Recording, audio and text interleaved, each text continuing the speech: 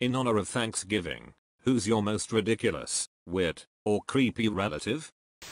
I was about 11 or so when my step uncle asked me under his breath, hey baby, wanna wrestle? Before nudging me with his elbow and giving me a wink. Being young and naive, I figured he meant something along the lines of WWE, so I replied jokingly that there's no way he could beat me.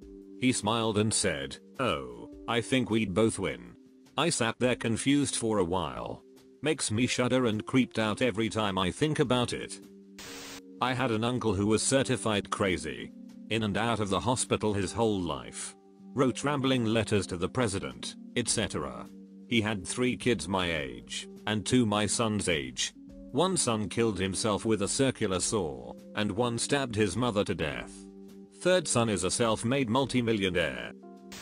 I have a great uncle that is a walking, talking stereotype of a trucker found in a 1970s or 80s movie.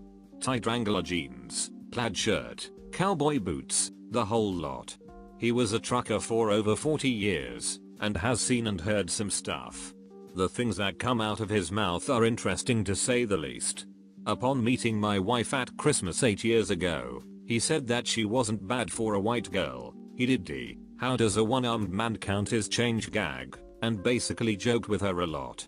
He called me up on my high school graduation day, and all he said was, hey whistle donk, good on you for finishing high school, unlike my other son of a bish nephew. He always has some off-color joke, usually at the expense of someone who has not been around the family much. He was in the Air Force, drove a truck a bunch, owned several biker bars, once rode the rails from Ohio to California to win a bet, and has been married 5 times, his longest being his current marriage which is going on 40 years. He ridiculous in a fun and crass way, and is the highlight of nearly every holiday or event he comes to, because he shows up, has some laughs, tells some jokes and leaves. It's sad that his health is going downhill, and this is likely our final holiday season with him. Even though he is laid up in a nursing home bed trying to get over his latest health scare, he is still the same old crazy man he always was. My mom has managed to ruin every special occasion since I can remember. One year, she was so angry about something that she tried to force me to eat raw eggs and cat fesses for dinner. Last year, she insisted that our deceased cat sit with us at the table and refused to eat until my dad brought out the urn with the cat's ashes and put it on the table. Wanna know how to quickly ruin a 6 year old's birthday? Take a present out of the closet and run it over with your car a bunch of times in front of your kid. My biological uncle Troy. I've only met him a few times, but goddamn he's creepy. He got mad when my mom, who was married to my adoptive father, wouldn't snuggle with him, that I wouldn't tell him when my period was, and that my 5 year old sister couldn't hang out with him alone. She's no relation of his. My great aunt by marriage is a heinous, social climbing witch. One Thanksgiving her biological granddaughter and step granddaughter were playing together, all with her real granddaughter's toys.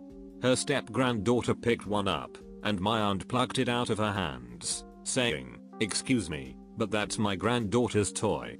The girl was 4, and my aunt is the only grandmother she has ever known. Another story, she didn't tell her only brother that their father had died until after the funeral. They had had some falling out about their dad's estate, and he lived across the country. A real class act. She once went on a rant to my Irish grandfather about how much good Oliver Cromwell did for England. He now hisses and growls anytime she walks into a room. Honestly, she's so cartoonishly evil that it bonds the rest of the family together. There's nothing like a common enemy. Thanksgiving will consist of my dad belittling everyone individually, talking over everyone, then exploding in rage over something minor, then telling us all to lighten up. Then he'll get comfortable and begin lecturing us on everyone he hates, and why they're so screwed up. Maybe another rage explosion when coffee isn't being made for him. Ah, the helly days. Not creepy, just ridiculous. I had an aunt who, every year, would show up to Thanksgiving dinner and insist on taking a nap on the couch instead of eating, because, I'm full, we stopped at Burger King on the way here. Yaddle's cooking must suck. Once, on the way to my first Thanksgiving with my girlfriend, now wife, She and her mother insisted on stopping at Carl's Jr. I was all, bar, bar but Thanksgiving food is the best ever? They said, not when, name of now wife's sister-in-law, makes it. They weren't kidding. It was the worst T-Day food ever. Everything was crap, but the piece the resistance was, they made a total of about one cup of gravy for everyone to share. We stopped for burgers on the way home too. This topic reminded me that tomorrow I'm going to have to hug every member of my family and thank them for being normal. And that's how you become the weird, creepy relative. I have an aunt and uncle, married, not siblings, that dress alike. Like literally wear the same exact outfit to almost all events. It's usually traditional men's clothing like a Hawaiian print shirt and khaki pants. So, it's not just coordinating colors, but the exact same items in their respective sizes. The only exception is, I've seen them at a formal function once where she wore a dress and he wore a suit. But anything casual, it's a matching outfit. My uncle is a really nice guy, and seems pretty normal aside from the matching thing. I don't really get it, and it definitely gets some odd looks. The ironic part is that they have a set of twin girls who are in high school now, and have hated dressing alike, since they were old enough to pick their own clothes out. Ridiculous, she comes in through marriage. My wife has a cousin who is our age, early 30s. She manages an art gallery. She lives as an artist, named her kid Bread, wears designer clothes, Hairstyle is some sort of huge mohawk that look ridiculously oversized, like it's a joke, but it turns out she isn't really the manager, she just manages ticket sales, which devolved into she sits at the window and sells the tickets for people entering, and later it turned out her rich dad just gave her a ton of money so she could pursue her dream, which is to live the life of an artist, and name her kid Ducking Bread. I've only seen her maybe three times, most of the rest of the family acts like she doesn't exist, but I never forget bread. My uncle is the most ridiculous person I know. Family get-togethers usually involve him not being invited, but my grandma guilt trips us into asking him to join us. Everything goes smoothly until someone makes a comment that sets him off. For example, my aunt said that her son was interested in becoming a police officer. Crazy uncle went off, started cussing everyone out, throws the food we've been cooking on the floor, punches a wall, and walks out. It became a game for a wall to see who would make him flip out without trying. Eventually I just stopped talking to my family, we talk maybe once a year, because the drama is ridiculous. Long story short, my aunt poisoned my cousin. It was Munchausen's by proxy. She was admitted in the hospital, dying, and we flew out to their province to say goodbye to her. After being in the hospital for a while, where her mom couldn't poison her, she started to get better, and got to go home. A few years later, my aunt shaves her own head and says she has cancer.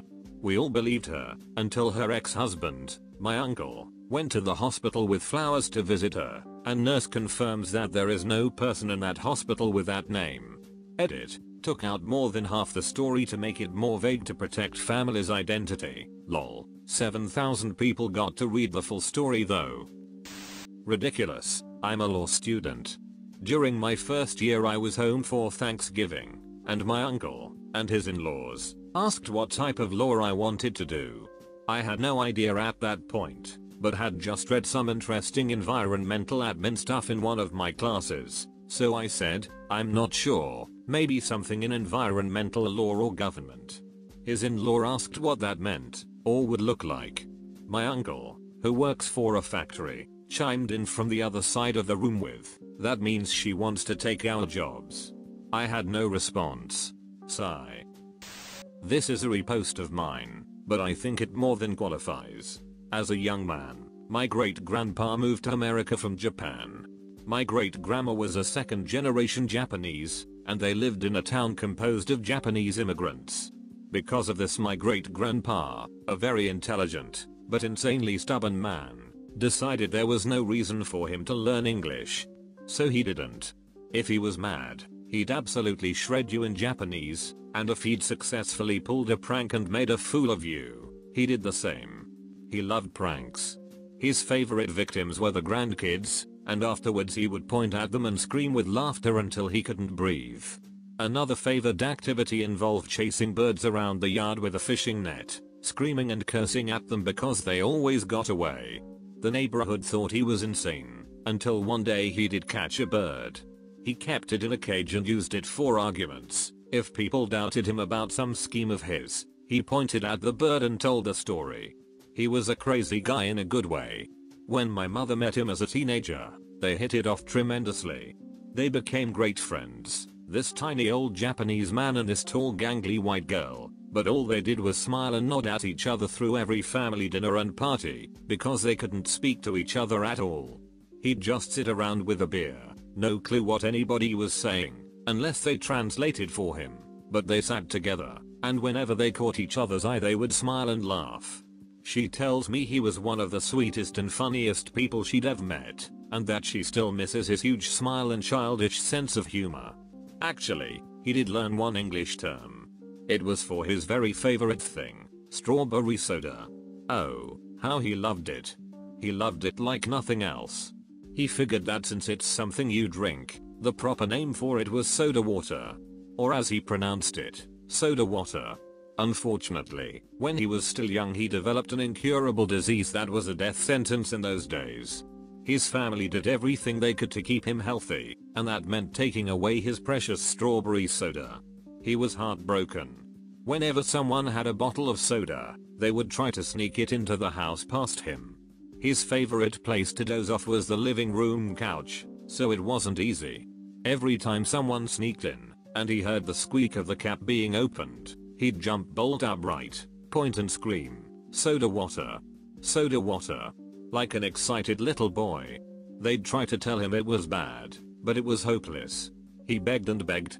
Soda water became his rebel's cry against the illness, and the one thing he demanded without fail.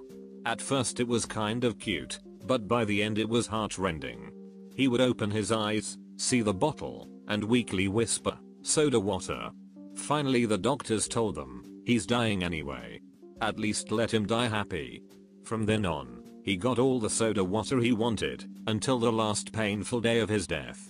By then his wife had long since died in a care home, after she suffered a massive stroke that left her unable to speak or even move for the last 10 years of her life. He visited every day to sit with her and care for her fondly. As silly or stubborn as he could be at times, he was a strong and caring person until the end. And on it, he got his soda water too. Not really creepy, but kinda just weird nobody likes her. My aunt basically divorces people for a living. Not 100% sure how it all works, but I know she's been married a number of times to rich men and she's made bank every time there was a divorce. She has some oil company now, not sure if she owns it or whatever, but it's named after her. We always go to her place for Thanksgiving and she's the wannabe Southern Belle. Has a ton of farm animals, rustic decor, and a literal shrine to Trump. When I was a kid I was a total introvert who only ever played video games all day, so all my relatives thought very little of me. I've grown quite a lot, but now when I see them for Thanksgiving and whatnot, I don't wanna talk to any of them so I just chill wherever they're not. They all think I'm some sort of pathetic loser, which is only partially true. Anyway, my aunt always interrogates me every time I'm over to see if I've become a quarterback heartthrob whatever. Ugh, no thanks. I have an uncle who hates immigrants even though his parents were immigrants. They passed away years ago, and tries to argue that his parents immigrated the right way. When you try to challenge him he just repeats that they did it right. The irony to this is that his father used to proudly tell the story of how he sneaked into the USA via Montreal twice before he was naturalized. He claims he does not remember his father ever telling that story,